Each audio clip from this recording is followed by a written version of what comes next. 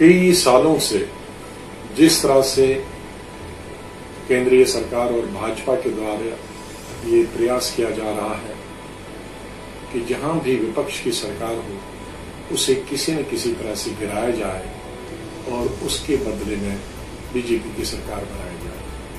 हमने अभी कुछ महीनों में ही देखा गया कि पहले कांग्रेस की सरकार को कर्नाटक में गिराया गया और भाजपा की सरकार बनाई गई। उसके बाद, कुछ महीनों के बाद ही मध्य प्रदेश की कांग्रेस की सरकार को गिराया गया और भाजपा की सरकार बनी।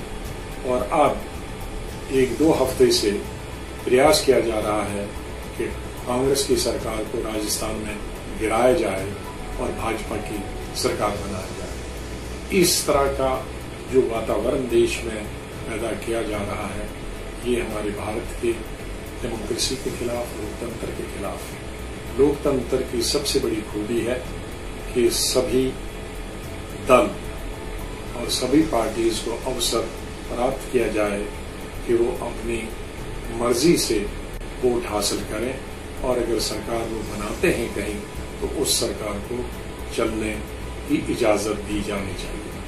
आज लोकतंत्र खतरे में है और हमारी डिमांड है कि राजस्थान के अंदर, राजस्थान के मुख्यमंत्री को सदन के अंदर, विधानसभा के अंदर अपना बहुमत सिद्ध करने का अवसर अवसर देना चाहिए माननीय राज्यपाल जी के द्वारा।